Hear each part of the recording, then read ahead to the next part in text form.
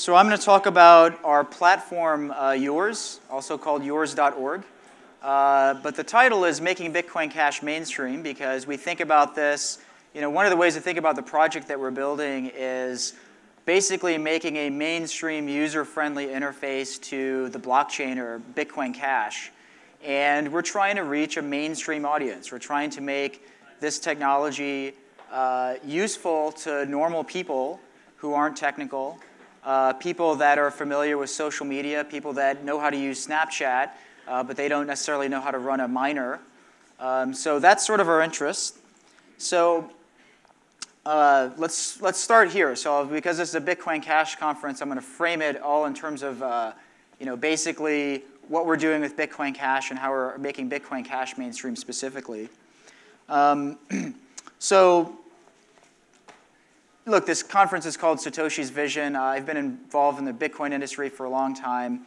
And Bitcoin Cash has all the properties that Bitcoin is supposed to have. Uh, it's sound, permissionless, scalable, peer-to-peer electronic cash with low fees, instant transfers, and Turing-complete smart contracts. Woo! Wow. So let me dive into this a little bit and explain what each of these terms mean, because some of these might even be controversial. Uh, so it's sound, of course, we know that there's only ever going to be 21 million Bitcoin Cash. Uh, no one can cheat and inflate it away. It's permissionless. No one can stop you from using it. You can do whatever you want to do in accordance with uh, the protocol rules. It's scalable. Uh, we do know how we can scale this to reach a global audience. That's possible. Uh, it's peer-to-peer. Um, you can send money you know, to anyone, okay, directly with no third party. It's electronic cash. It's, it's money. You, know, you can hold it. You can transmit it. It has low fees. Uh, in our case, well, I mean, for any Bitcoin Cash transaction, but it's especially noticeable in our case, fees are less than a cent most of the time. Uh, instant transfers, because especially if you're sending smaller values, zero conf works just fine. And Turing complete smart contracts. This is kind of the controversial part. I won't get into this in my talk, but my co-founder Clemens is going to talk about this on Sunday. So all this stuff is really amazing, but these are all really technical things. So how do we bring this incredible value to normal people? Um, so we think about it, you know, so one question people have asked since the early days of Bitcoin is what's the killer app? You know, we're, we're sort of missing something that by itself sort of goes viral, some application of Bitcoin uh, that, uh, you know, goes to a, a, a, uh, you know, to a mainstream audience, something that's, you know, the app that introduces everybody to, uh, to Bitcoin Cash. Um, so that's Bitcoin Cash. Now let, let me talk about sort of the problem we're looking at and how and why we're using Bitcoin Cash. So on the internet today, we have a couple of related problems. Uh, first of all, uh, on most social media networks, uh, people, the, the, users don't earn money, okay? Uh, you create content on Reddit. We look to Reddit as a role model, but we look to all social media networks, you know, Facebook, uh, Medium, SoundCloud, and so on. Uh, usually they either don't have a way for people to earn money for creating content, or they don't have very good ways. It's all based on ads, and ads only work for like some of the users. Um, but also not just the creators, what about everybody else? The moderators, the editors, and, and so on, people that curate good content. We want to create mechanisms for those people to earn money. The second problem is, why is there so much low quality content on the internet? And I'll start with trolling because many of us in the Bitcoin community have probably seen or experienced hopefully not done the trolling uh, in, uh, in you know, Twitter, especially Reddit, and so on. Uh, there's also things like you know, just outright false information. There's lots of propaganda and censorships, things of the sort, uh, clickbait, spam, and so on. Of course, there's also really good content, but there's a lot of low quality too. So how do we, how do we make this better? And so our solution is basically we think that if you build payments in, that we can solve a lot of these problems. So first of all, uh, if you build payments into the infrastructure of a social media app, uh, you make it possible for people to earn money for doing anything on the app. You can make it possible for people to earn money for creating content, for curating content, for moderating content, and so on. Uh, secondly, we think that if you set up the incentives correctly, we can encourage high quality content. If you earn more money for creating better content, well, you're encouraged to do so. So we think this will improve the quality of content if we do a good job designing the incentives. Uh, or in other words, ads suck, let's use Bitcoin Cash instead. And what this means is if you think through what these problems are and why they are this way, it has something to do with ads. Like the fact that you know, when you create or consume content on Facebook, for instance, why are these third-party advertisers involved at all? Like, why are, why are you, you know, why do you have to look at these ads? Uh, why are these unrelated parties involved in funding the content? Uh, and how come you're not earning the money? I mean, if you're creating all the value, how come advertisers are paying Facebook for that? There's something wrong here. There's something wrong with the sort of the, the ubiquitousness of ads on the internet. Uh, and we think we can solve a lot of these problems with, uh, with Bitcoin Cash. So uh, yours.org, this is the, the app that we, we created. Uh, it is a social media destination with Bitcoin Cash monetization for creating and curating good content. I'll get into this in a minute, what this means exactly, because it, it, won't be obvious. But we get compared to Reddit a lot because we have a vote button. Uh, with the difference is that actually the vote button is money. So the voting costs 25 cents. I'll get into how that works in a minute, but you can start getting the idea for what it is that we've built uh, that it's a social media app with built-in payments. So I, am going to start with this one. Uh, this is my favorite feature. Uh, it's my favorite because it's fun to talk about and it's a fun sort of thought experiment, although I admit it's not the most widely used of our features. But I mentioned trolling earlier. Uh, it's interesting that on most social networks, uh, you usually have the ability to add comments. Sometimes you have the ability to turn them off but you don't have the ability to charge money. So on YouTube, for instance, uh, YouTube lets you allow comments or disallow them. In other words, it's either free or it's infinitely expensive, but there's nothing in between. Wouldn't it be cool if you could just charge some amount of money for people to write a comment? So on YouTube or on Twitter or wherever, wouldn't it be, I mean, like imagine you get trolled, which again, many of us have experienced this. Wouldn't it be interesting if you could just charge people a dollar to write a comment on your article or your tweet or whatever?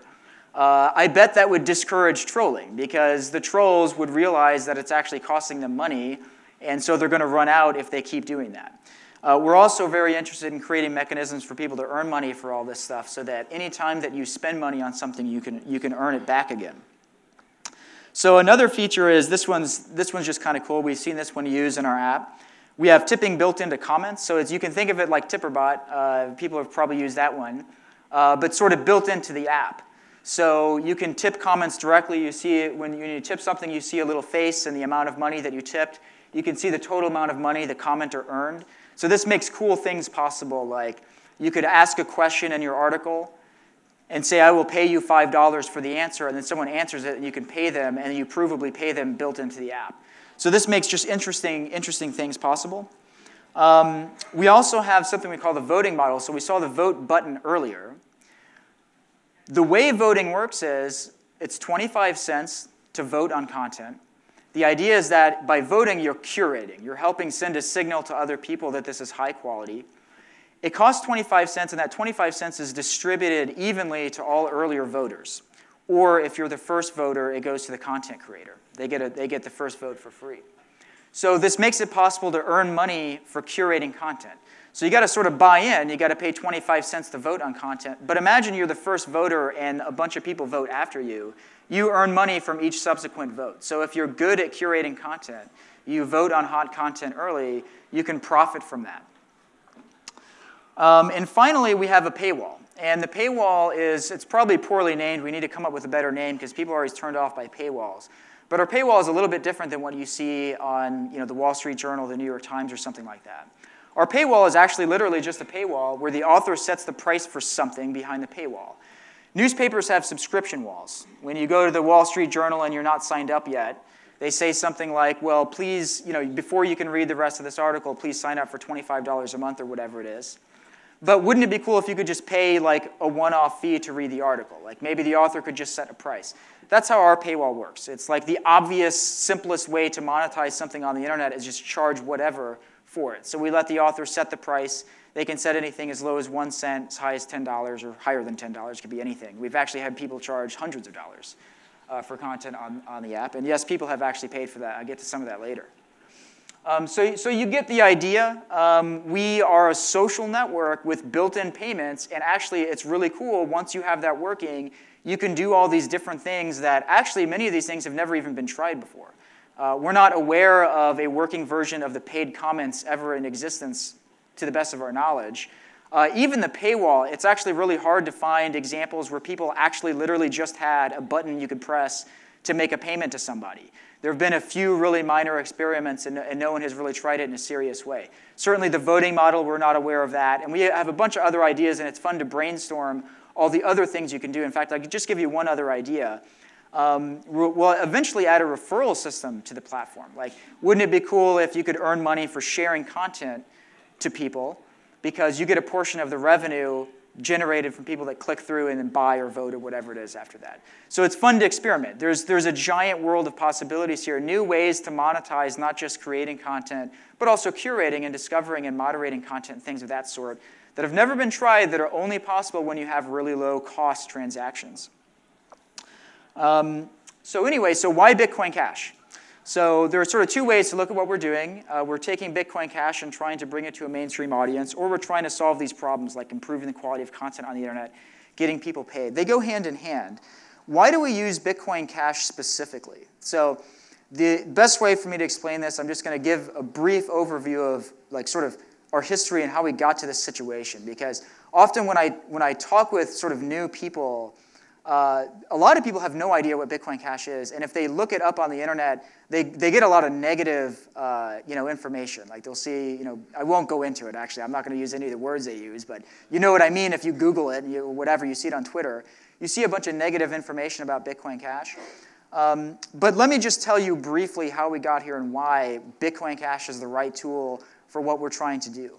Um, way back in the day, a little more than two years ago, we started on Bitcoin. We were using Bitcoin because, well, two plus years ago, Bitcoin was like 95% market dominance in cryptocurrencies, had by far the largest economy. There was no reason to use anything else. Uh, all we needed was peer to peer payments in the app. We need peer to peer because we don't want to be a money transmitter. Bitcoin made that possible. The only problem was fees were kind of high in early 2016 at about 5 cents per transaction. Now, 5 cents at the time seemed high because fees used to be really low. It was like zero, basically. Uh, so at 5 cents, we thought, well, we need to lower fees because the payments might only be about 5 cents. And so a 5 cent fee on a 5 cent transaction is awfully high. So my co-founder and I, Clemens, who's in the audience probably somewhere here, uh, we spent, uh, I see him in the back there, uh, we started developing payment channel technology similar to the Lightning Network. So we, you know, by that point, Lightning Network had been sort of theorized, hadn't been put in production or anything like that. But the basic ideas were out there, and there's Lightning Network and a few other uh, sort of uh, uh, uh, papers and whatnot about how to do this stuff. So we researched and developed this. It took about a year to get a prototype of this working, uh, which we announced in early 2017. But by that time, fees on Bitcoin weren't 5 cents anymore, they were $5. And actually, in order to open a payment channel, you have to broadcast about three transactions, which means at $5 transaction fees, it costs about $15 uh, for someone to open a payment channel. Not to mention you have to actually fund the channels with something. And with fees that high, you got to fund it with quite a lot more than $15 for it to make sense. So Bitcoin just stopped working for our use case, and I'm not going to go into There's just simply no time. I'm sure many of the audience is familiar with this, but many probably aren't. But unfortunately, we just couldn't use Bitcoin anymore. So we switched to Litecoin. Uh, Litecoin was technically very similar to Bitcoin. It was easy to switch to. All of our technology worked on it, and the fees were a lot lower. Um, but Litecoin's long-term roadmap was not encouraging. Litecoin also has a fixed maximum block size, and even though its fees were low, the developer and, and sort of ecosystem around Litecoin was pursuing the same type of long-term roadmap as Bitcoin Core, uh, which meant that uh, basically if it ever got popular, we're going to have the same problem again. So we weren't very encouraged by that, and we watched Bitcoin Cash very, very eagerly because we knew that Bitcoin Cash was solving the problem that really needed to be solved, which was how do we just raise the maximum block size you know, safely in a way that just scales to a larger transaction volume. And when Bitcoin Cash launched in early August, uh, it's August 1st, 20, you know, last year, 2017, uh, we started running tests on Bitcoin Cash, and the fees were less than one cent. And we are obviously very encouraged by the community, all, you know, many of us in this, in this room, about what the plan is moving forward. Where the plan is we're going to keep raising the maximum block size as needed, and we're going to solve all the technical problems uh, you know, that we need to solve to be able to scale on chain. So, in a nutshell, so anyway, so we switched to Bitcoin Cash. Fees are really low. We, we ended up archiving our payment channel technology. So even after, at that point, about a year and a half developing the routed payment channel technology, we actually archived all of that code and we just used simple on-chain Bitcoin Cash transactions. Because the fees are so low, we don't need payment channels. And furthermore, the usability of on-chain Bitcoin transactions uh, is way better than payment channels. And I have uh, a couple of articles, a couple of videos where I talk about this extensively, about why the, the, uh, the usability is better. I'll just give you one brief example. On Lightning Network or any of these payment channel technologies, the recipient of funds has to be online, which is a really difficult thing to work around if like they're not online, which is true in a social media app, which you don't literally have open 24-7. So anyway, in a nutshell, uh, Bitcoin Cash works today and has the best chance to keep working tomorrow, and that's why we're using Bitcoin Cash. Um, so we think the, the way to make Bitcoin Cash mainstream is to make it really easy for anyone, anywhere in the world, to earn money for working in the global economy on the internet. And that's exactly what we're doing in our app. You can create value in our app, you can create content, you can curate content, and so on, and you can earn money. And the payments can be from anybody, anywhere in the world. And that's amazing. Like, you can be a part of the global economy. You can, doesn't matter where you live or whatever, you can create value and you can earn money from that. And we think this is how we bring Bitcoin Cash to a mainstream global audience. We think it's the most basic use case. Smart contracts are awesome. We'll get to that later. Let's just make it possible for people to earn money really easily. So I'm going to run through here. I don't know if I'm going to get cut off on time. How many? Five minutes? Okay, what I'm going to do is, since I only have five minutes left, um, I'm just going to cover a couple of these, and then we'll leave it for uh, for questions. So I was going to run through tons of examples of how people have used our platform. Uh, so just for instance, um, our first popular article was called Bitcoin Cash Investment Thesis by a guy named uh, Bitcoin Optimist. And this article earned $86. So this was, I forget the timing of this exactly, but this was the first article on our platform where someone earned enough money from it that actually maybe that was worth his time to write the article. So this was like, you know, this was like a proof of concept that, oh, the thing actually does basically work. It's no longer really theoretical. And I'm just going to jump ahead to the, the next uh, great example, which was we have a user named Rivers and Mountains who not only like was it worth his time to write the articles, he actually earned quite a lot of money.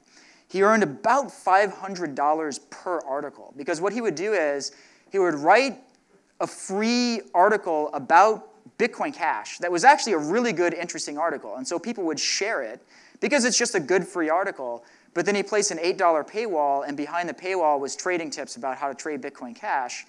And so, but you read the article like, oh, this guy knows what he's talking about. Oh, $8, but gosh, if I like buy in, you know, at the right time, I'm gonna earn way more than $8.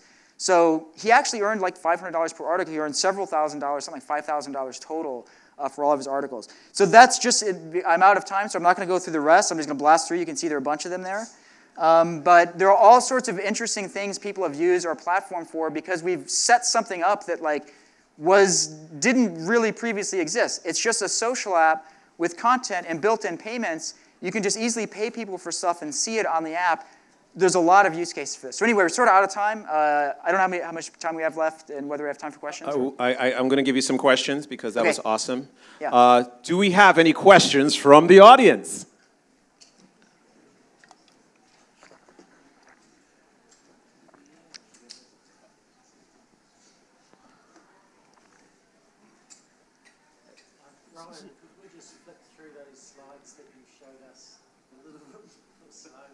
Okay, I'll go. I'll just go. Yeah, I can. I can tap one per 10 seconds or something. I'll just I'll leave this one up here for now. Yes. So, Mike, uh, once you develop a social network that lets people get paid, yes. and you start to create this platform that anyone can use to earn money on the internet, um, based on the, the current social climate, it seems like one of the first things that's going to happen that you're going to receive are demands from various parties that you start deplatforming various users for various reasons. Do you have a plan for dealing with that? I'm not sure I understand deplatforming. Just saying that certain people should not be allowed to publish on the internet because some people don't like what they're saying. Well, so our, you know, if you're talking about sort of censorship as a, as a general concept here, so we recognize that, uh, you know, uh, we think probably that actually one of the biggest use cases for our platform right now is to be anti-censorship because, sorry, yes, anti-censorship because we can see, uh, thank you, thank you, all right. I, I, should have started with that, I guess, but, but uh, you know, look, we see a lot of censorship on social media right now. It's like actually really interesting that a lot of like voices are being silenced on social media. That's a real problem. And that's actually, I think, the biggest problem. And it, this is very much related to earning money. Because what's happening on YouTube, for example, a lot of the people that are being silenced, what's actually happening is they're creating compelling content that turns off these third party advertisers. And so they get shut off from being able to be funded by ads on YouTube. So that is one way voices are being silenced. Well, if the payments are peer to peer, your audience is paying you directly. We're not beholden to third party advertisers. So that problem doesn't exist on our platform. So I think that is probably the biggest use case that's true right now uh, you know, on our platform. So. Another question? Hello? Yep. Just a really simple question. Just wondering how does yours.org make money? Uh, yeah, so uh, we take 5% of payments on pieces of content.